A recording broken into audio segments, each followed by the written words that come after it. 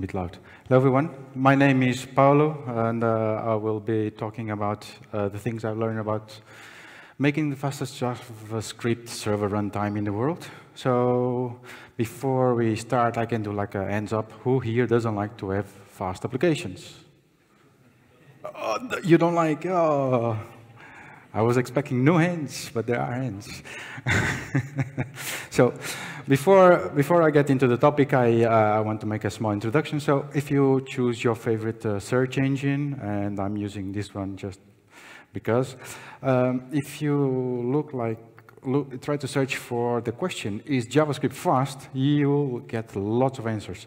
And uh, one of the top answers that you'll find, if you just read the, the, the, the gist, will say something like, under the right circumstances, JavaScript is very, very fast, actually as fast as C.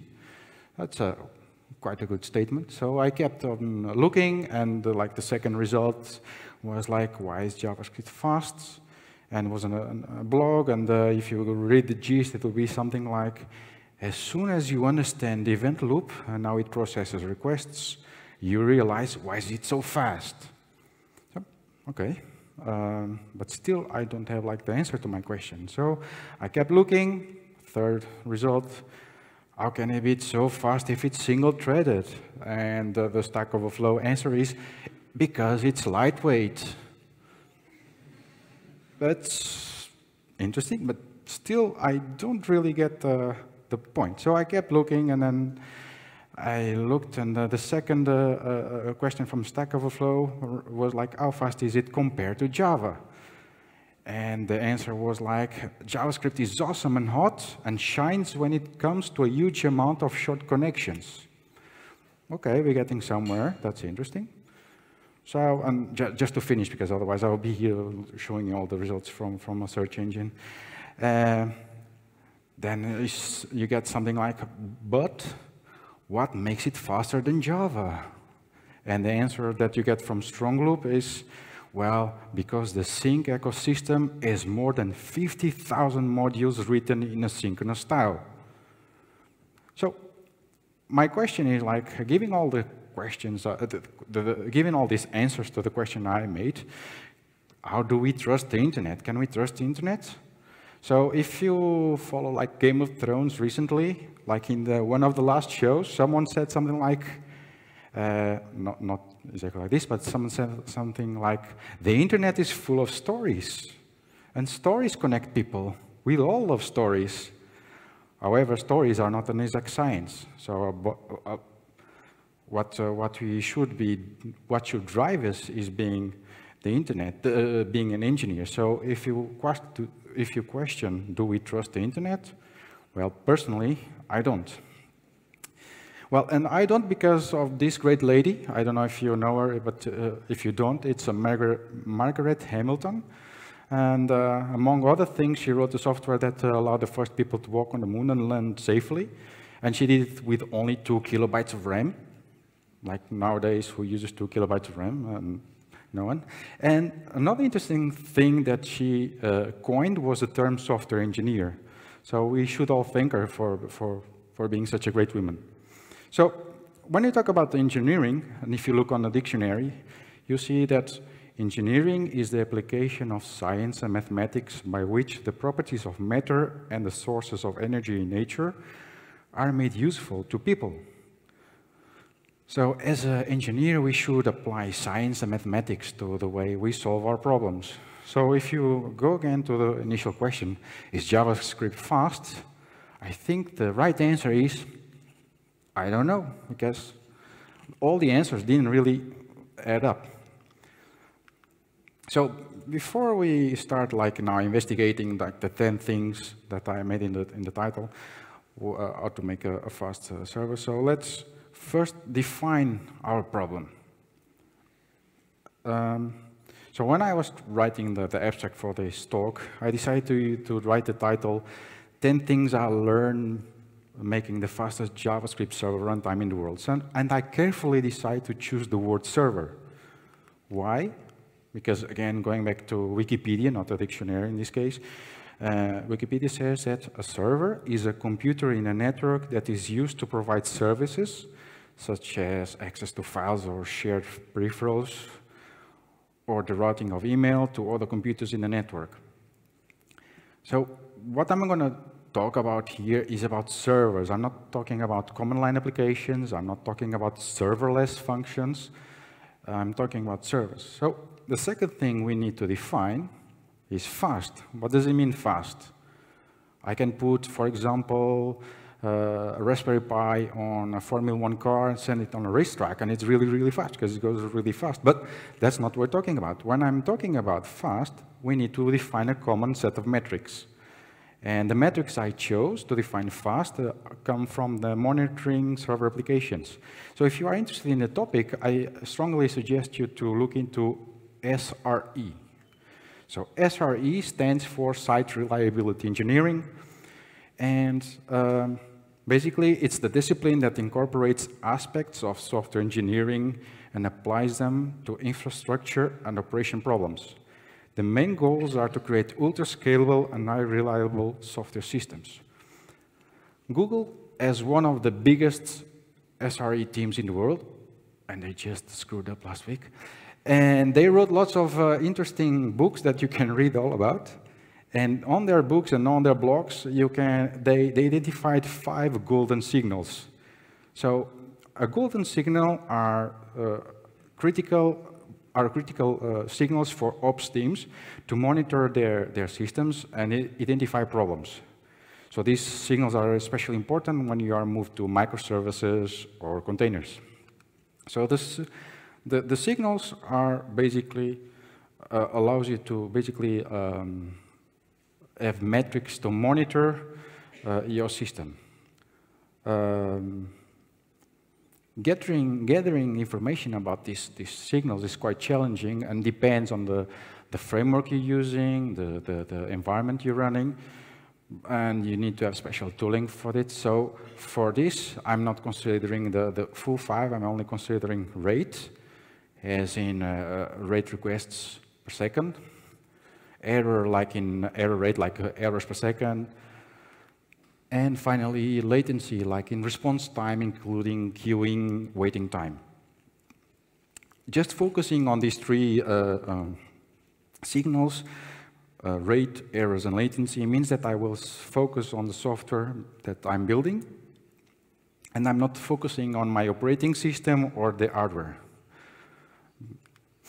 So now that we have the concept of server and fast and what we uh, what fast is, we need to define what what's the environment where our application will run the life cycle. So a typical server application has a well set of characteristics.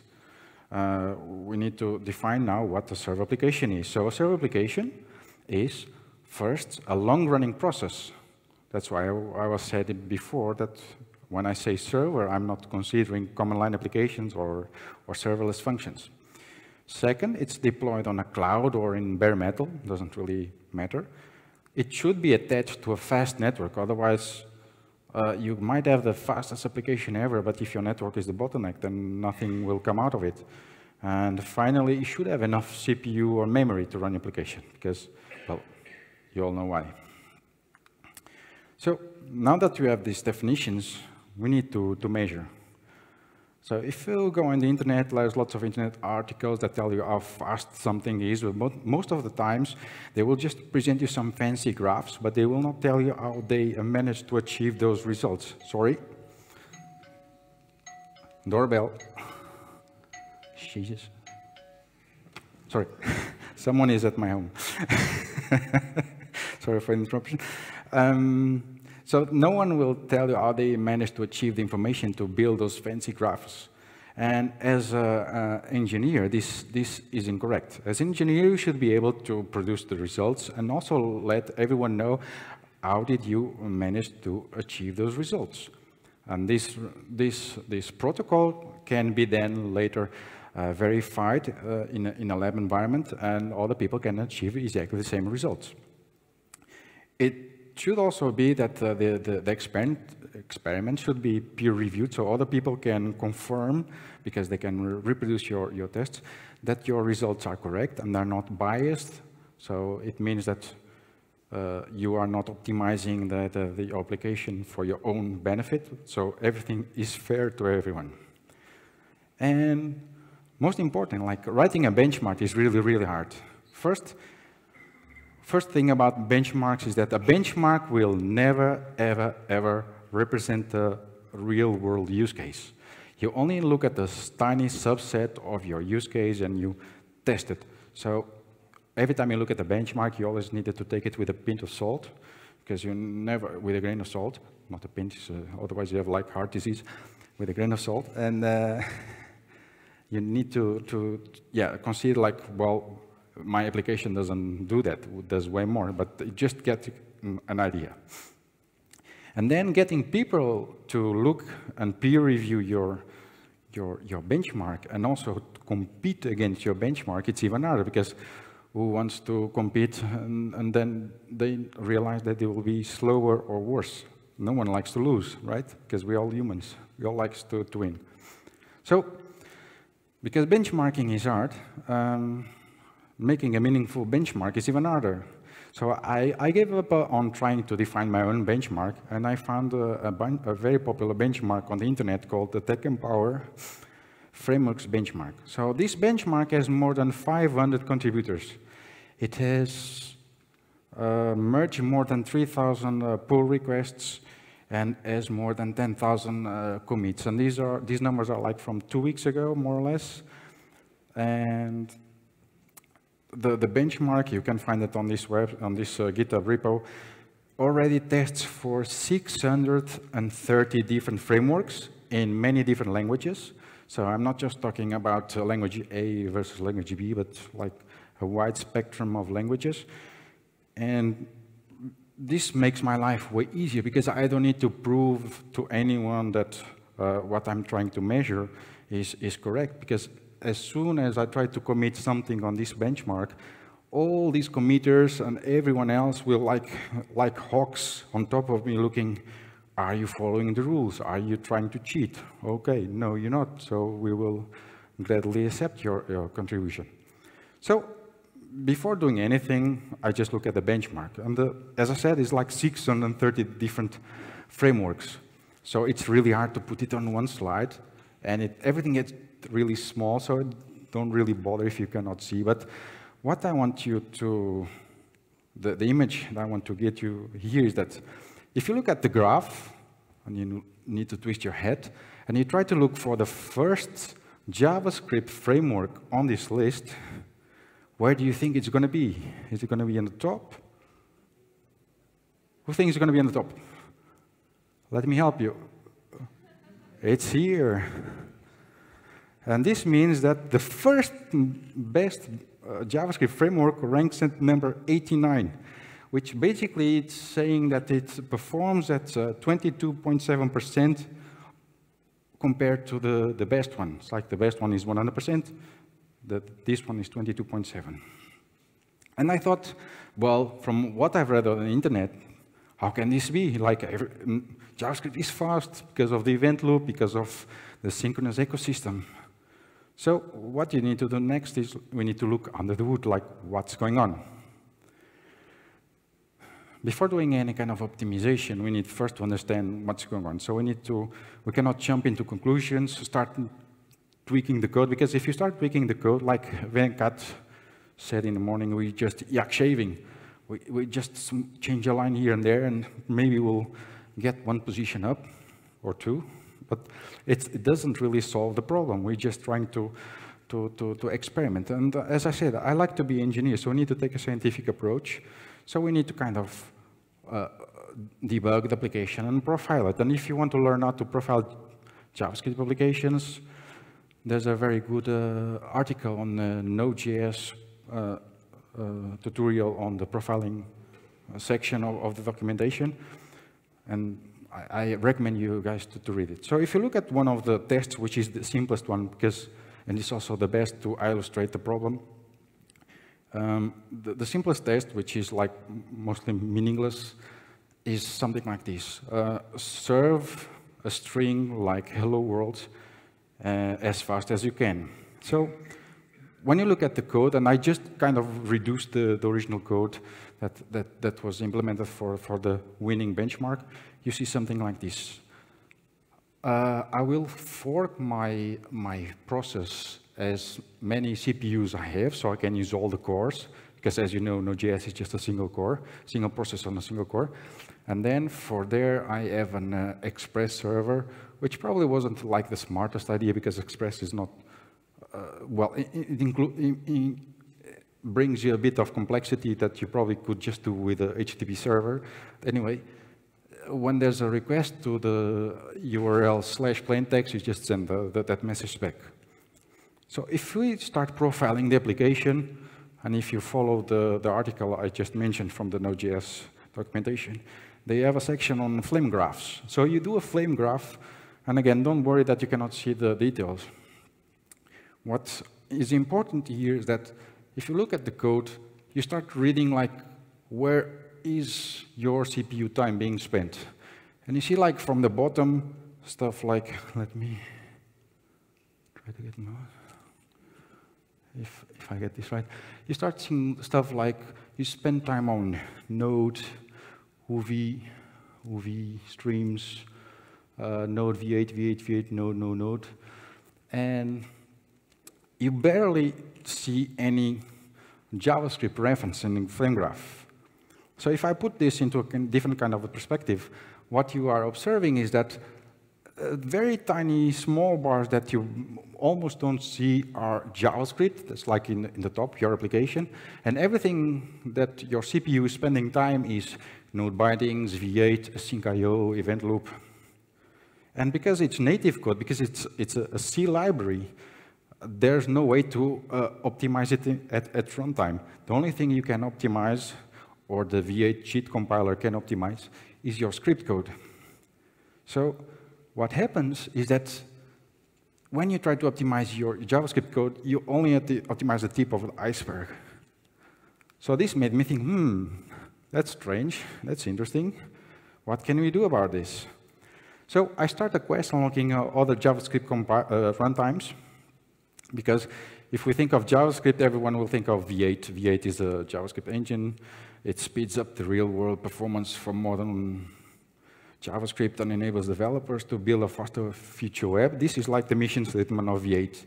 But there are other engines out there. So if you look at uh, the Kangax table that shows the compatibility of ES6 engines out there, and by the way, Kangax is not an authority on JavaScript engines, they already list several other alternatives. They, list like ChakraCore, uh, SpiderMonkey from Firefox, Script4 from uh, uh, Safari, and they have a new one called GraalJS. So this GraalJS is, is, comes from a new project from Oracle, is open source.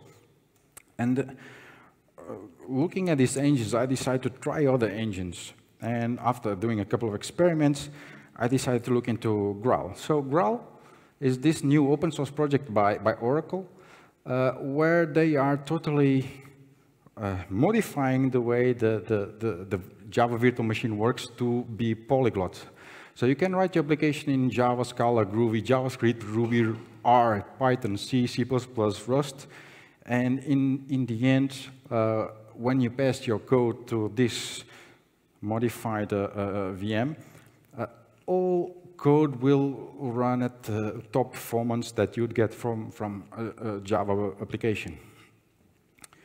Uh, the objective of Graal is to improve the performance of the Java uh, virtual machine based on uh, based languages to match the performance of native languages. So another goal is to allow free-form mixing of code from any programming language in a single program, which is also interesting. You can now start mixing all the languages and there's no performance penalty. And on top of that, they offer a modern JavaScript runtime that uh, implements the ES 2019 and ES 2020 uh, uh, specifications. So my goal is to like to have a really fast server, but I'm not going to switch to other languages. So I'm just going to focus on GraalJS. So from their definition, they have a JavaScript, their goals, the mission goals of the project is to uh, provide JavaScript with the best perf possible performance fully compatible with the latest specifications, and fast interoperability. So there are lots of academic research done on this area because the project is just open source for a year or so, but they are working on it for like eight years already, but they weren't really open because they were like researching in, uh, in uh, academia. But uh, if you go there, you, you realize that there are results showing that GraalJS can be faster or on pair with V8, uh, just when talking about uh, JavaScript. So I thought, okay, that's, that's a good, interesting thing to experiment. So I decided to create an hypothesis. Let's formulate like a project, uh, which I will call e ECMAScript, ECMAScript for X. And this project will do a couple of things that no one kind of would expect it to do. Like first, I will replace V8 with GraalJS. Second, I will replace the libuv with Eclipse Vert.x. So all the I.O. will done with a different library. Second, I will, since there is no V8, I can, the, the V8 JIT compiler is not there, so it's replaced with a compiler from, from GraalVM. Fourth, and this is quite interesting, I don't have node bindings. I only have type definitions of Java API, APIs that I need because uh, type definitions are not used at runtime. So the fastest code you can write is code that doesn't run. So if you just use type definitions to get access to the, to the uh, underpinning of your, your system, then you get more performance. And finally, it implements a common JS and a ESM loader and has some basic uh, NPM compatibility, so there are no node native modules. And finally, you can debug profile using Chrome DevTools because otherwise you have uh, something that is not really useful. So once I've, I've done this, I decided to implement the framework, the, the previous test in, in this new framework. So the big difference here is that first I'm just using ES6 and ESM modules.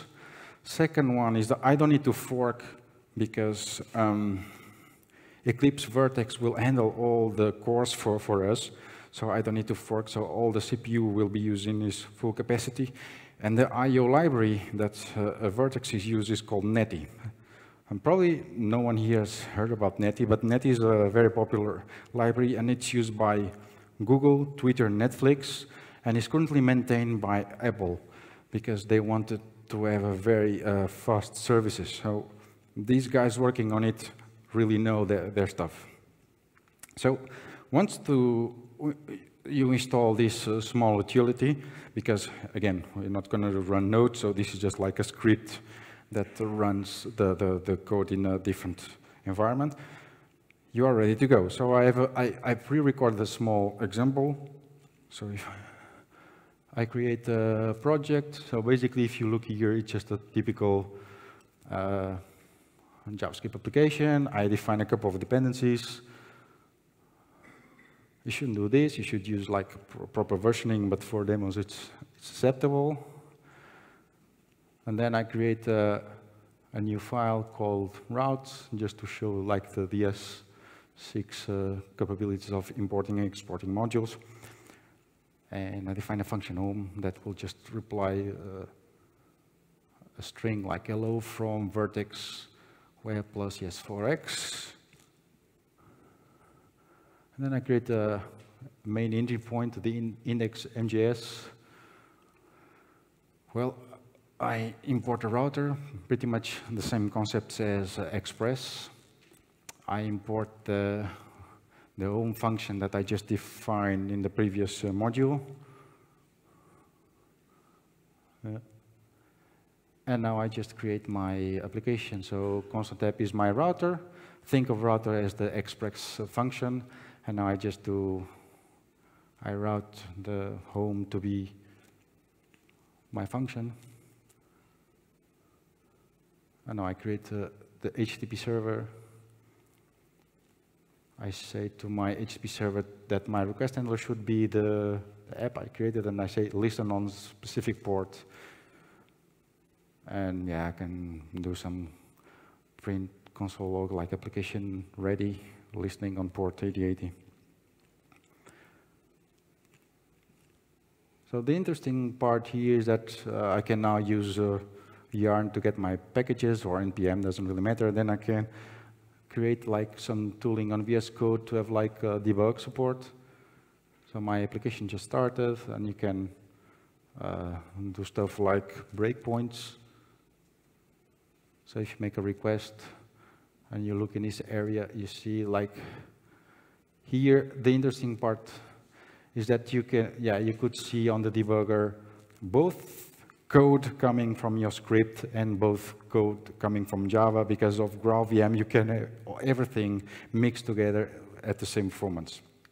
So the expectation when I did this is that um, when you write code in this kind of uh, way, your, your user code, your JavaScript, your runtime, plus the interop with all the Java code if needed, plus the GraalJS engine, plus my I.O. library, plus the JDK, because it, GraalVM is still on top of JDK, everything will be optimized by Graal, not just the script itself. Instead of just optimizing the tip of the iceberg, my, the, the Graal will do all the optimization. So I decided to test my experiment. And I was like amazed, like, like Katie Bouman was, but okay, my stuff is totally not important she really found something really big. So after I got like a drum roll, so look at who's the top 10 on the tests, because I managed to submit the, the framework to, to TechEmpower, and after being peer reviewed, it got accepted and merged. And now the CI shows us, and will this work, that we are the first JavaScript framework on the list, instead of being number 89, is number five.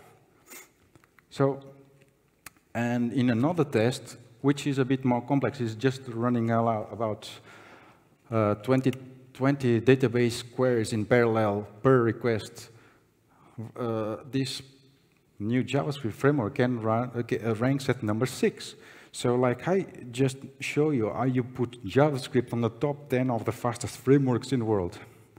So how does it compare with how it was before? The cool thing about this, this project is that you can do all the visualizations and comparisons for you. So in one test that they were just doing some JSON serialization, you see something like this. Uh, the previous best was Node.js using Chakra, because Chakra is some kind of improvement. So I'll just give you numbers. Like before, uh, the Node.js with Chakra could handle 558,261 requests per second and now it does 1,146,774.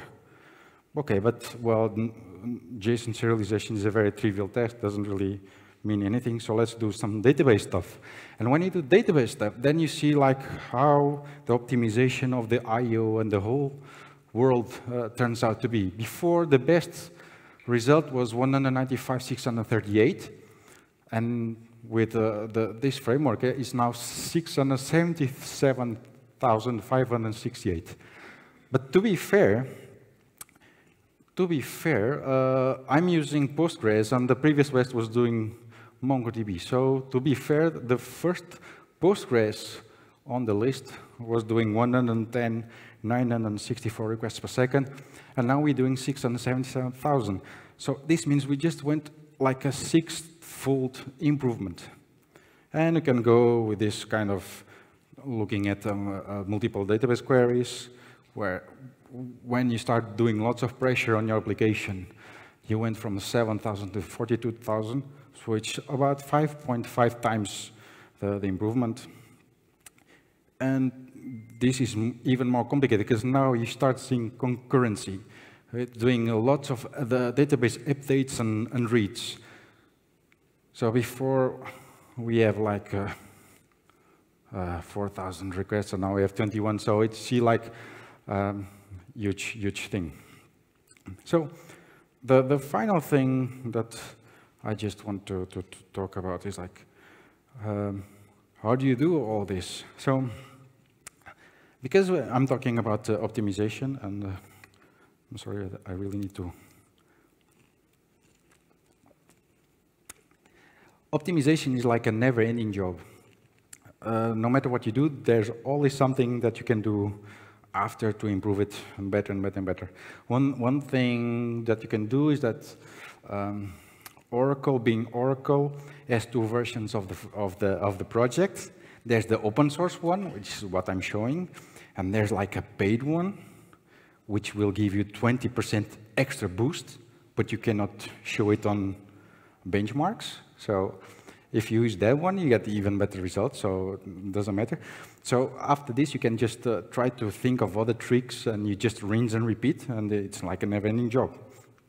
So like last week, when I was preparing to, to come here, I decided to make like a tweet as a joke, like, uh, I'm going to talk about fast JavaScript, so what do you want me to uh, show you? So I made like a pool. Do You want to see um, how to use popular NPMs or to how to debug and profile your, your, your code. So the, the choice was like how to debug and profile. Uh, that's unfortunate because I was hoping to show you like how to use the uh, standard uh, uh GraphQL library from Facebook on this and it just works and it does. So, but I'm not good at. I'm going to show you how to debug and profile. So to do that, I need to switch to Visual Studio Code. And I'm going to put it here. Yes, and it's try to improve it a bit. So I've created a very simple application which uh, oh, which I will try to I don't know. Oh. So I created a very simple application with a couple of routes uh, for serving an home page, for serving API requests and showing a, a, thing or two about errors. And so I have uh, the application running, and if I would say, okay, I go here on my terminal, and I do HTTP localhost 8080 API, uh, not HTTL, of course, HTTP. I'm using HTTP PI. Uh, oh, I already have an await. Oh, okay. Uh, I'll remove the, the breakpoint. So as you can see, I can uh, already like the, the Chrome Dev tool working. So I make an API request and uh, what I wanted to show, you like pi is not really 2.17, but it should be 3 point something. So uh, if I would say, okay, let's debug this stuff. So you need to go here and put a uh, breakpoint. And if you make a new request, now the debugger is there, so we can inspect like what the context is. And uh, uh, the interesting part is that because the GraalJS is an uh, advanced engine, you already have like all the await async await features, uh, you have promises, you have ESM modules, you don't need to use any code transformation, it just works out of the box. So, to show how it works, oh, I have this, and uh, I say, okay, let, let it go. And it's like, oh, it didn't stop on the next line. Uh, of course not, because it's an asynchronous uh, uh, request. So the second time the, the, the result comes in, now I can inspect what the value of pi. So if I skip, I can put mouse here and see, oh, pi is 2.7, which is kind of strange, so you just let it go. Well, should be trivial, right? So you can now just go here and say, step in, and then I have here the, some, some formula to calculate pi, and if you read the, the documentation, it says like, you do like this, uh, uh, you resolve this series, and you have the value of pi, and what is important to notice is that la la la la five times. You could see, oh, I went too fast. What I wanted to see is that on the formula it should be four times the value, not three times. So if you do three times, it will solve your, your issue. And then, but this is like trivial stuff that you guys should already know, right? No, no, nothing really complicated. So um, the Second thing I can do is that I just go here and I say, my microphone is falling. Um, I go here and I do something like, um, whoop, whoop, whoop. yarn start. So I start my application. This is just the, the, the yarn package manager. So my application is running, and now I could do something like uh, on a new window.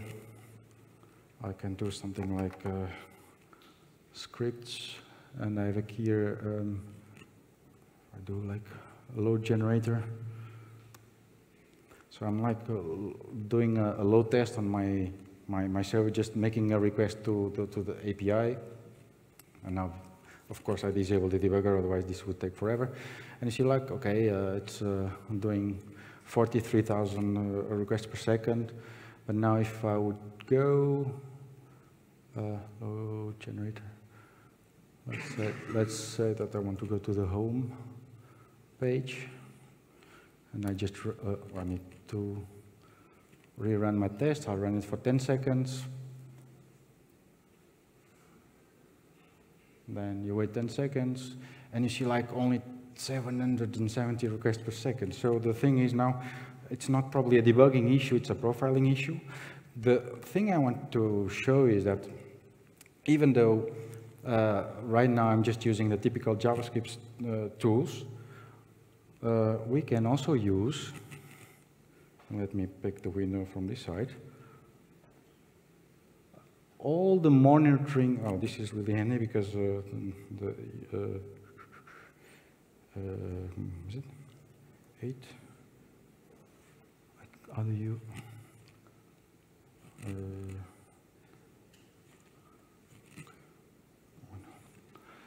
you can even use the tools from from the JVM. And the JVM has been optimized for the last 25 years to run, so, so they have pretty good tools to, to inspect what's going on. So I see, here's my application. I can just say, connect to it. And I can even say like, okay, monitor what's going on. And pretty much like, uh, uh, like uh, uh Node.js, there's an, uh, the, the event loop. But my, my laptop is not that advanced, so I'm just using two event loops. So I probably need to zoom out. So if I would know, he, go here again and I would load my test and switch, you now start look, seeing these purple bars, these purple bars on my, my event loop. And if you look at the purple bars, it says that my thread is sleeping. So then I know, okay, the, uh, there's something that I need to investigate in my, uh, in my code.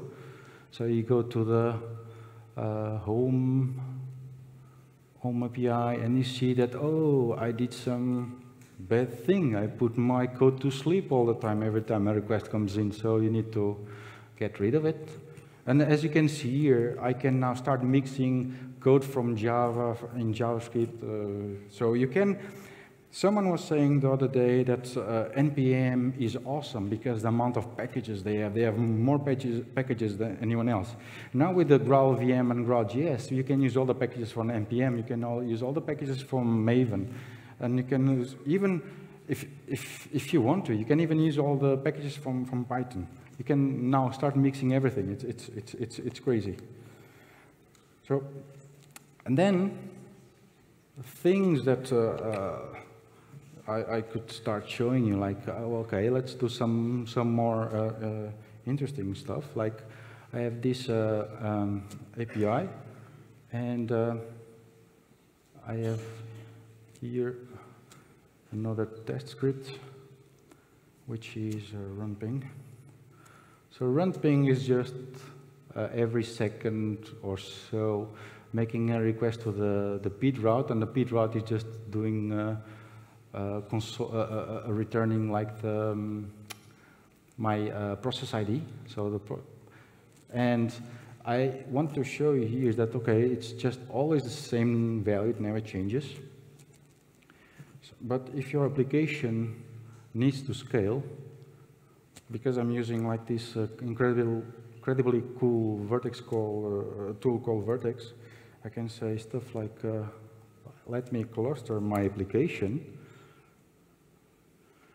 So out of the box, without doing anything, I can now have like a clustered uh, um, scripts start services.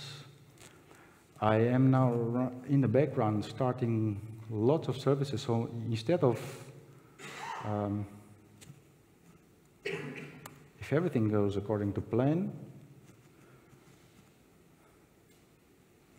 of course not because it's demo time. Oh, it is.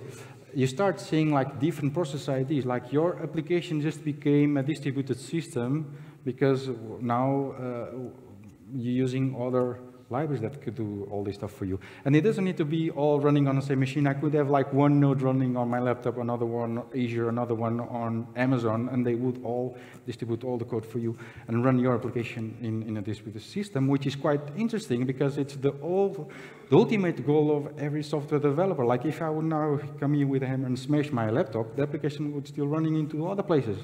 It's like the ultimate, the, the dream of the internet, right? I'm not going to uh, bother you guys um, much more, so I'm going back to, to my slides. So let me go into conclusions. The, the, the main thing I want you guys to take out from this talk is that there's nothing wrong with JavaScript because I was quite annoyed when I started reading people saying, yeah, we left, uh, we were using this JavaScript application and it performed so bad, so we just decided to rewrite it everything in Rust or in Go because, you know, Go and Rust is fast. And I'm like, I'm again like in the beginning of this talk, what do you mean? Yeah, you know, it's fast because it's native. Sure. So Yes, JavaScript can be fast. You just need to know where to look to and do not uh, uh, assume that because using one tool that everyone just blogs about and thinks it's fast. Uh, that, that, that's correct. So please, before switching to Go, Rust, whatever, I have nothing against those languages. I do love them. But just look what, what you can do with, with your JavaScript runtimes. And most important, dare to experiment because this was what drove me to, to do what I did. I, I decided, okay, I will experiment something. Probably I will fail, uh, but it doesn't matter. That's how you make science, how you do engineering. So thank you. If you want to follow me on Twitter, that's my Twitter account with a zero, because apparently there's a, a, a big football player with the same name as I do. So it's really hard to get a cool handle these days. On GitHub, the footballer doesn't know how to code, so I win. And there's the link for the project. It's open source. You can look at the code. You can make pull requests. You can co comment on my bad coding skills. And uh, if there are any questions, please.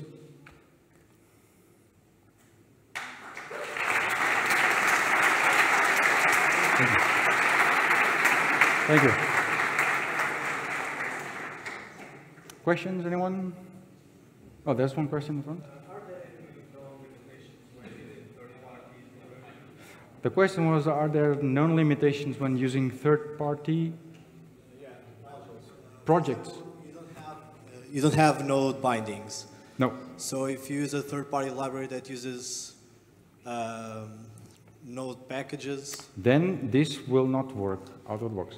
Okay. The, uh, the GraalVM, the, the, guys wanted to show off uh, the, the, capabilities. So what they did, they also ship with a, a binary called node, where the, the thing they did, was they removed V8, they plugged in GraalJS, and then the, uh, you still have the, the libuv and all the rest. So you can use the node native packages there. But again, because libuv and all the libraries that come with it are native, they will not uh, get all the performance improvements, so we will not get these results.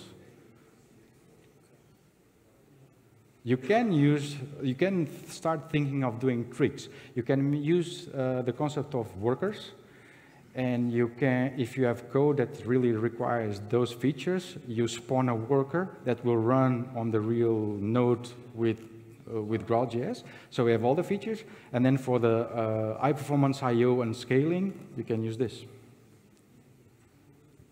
Uh, do you have any application in production using your, your engine? No, because as I said, it's, it was an experiment. Yeah, but uh, The only application I have is the benchmark itself, which is uh, hosted on. but, But I know- I know that, do you uh, want couple- to keep the experiment going, try to Yes. make something bigger. yes, I'm keeping the project going on because this year uh, there's uh, again the Google Summer of Code, and they have I have one student which I'm mentoring, which is implementing full TypeScript support for it. So uh, when you use any kind of library, uh, you can just code in TypeScript directly. So you get like full code completion and type safety and, and so on. And I know that there were some experiments uh, happening in a big uh, corporate uh, with a blue logo and three letters, starts with I and M, I'm not saying which one, that implemented the GraphQL support using the official Facebook GraphQL JavaScript implementation on top of this. Okay. Hmm, yeah. Uh, by the way, is this going to be maintained by Red Hat? Any connection there, or The, the, the- my connection, I work for Red Hat, but I am a developer for the Eclipse Vert.x project, and this is a sub-project from Eclipse Vert.x. So it's under the Eclipse Foundation. It will always remain open source, and uh, well, we'll see it from there.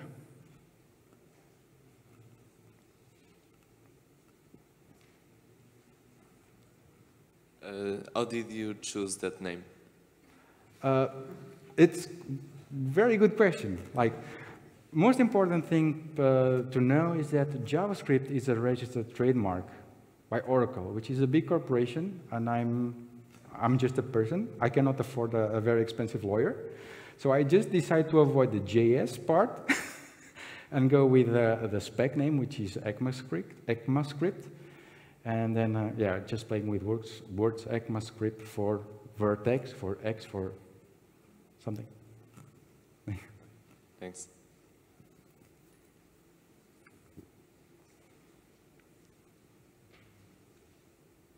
No, I think we're done. Thank you very much.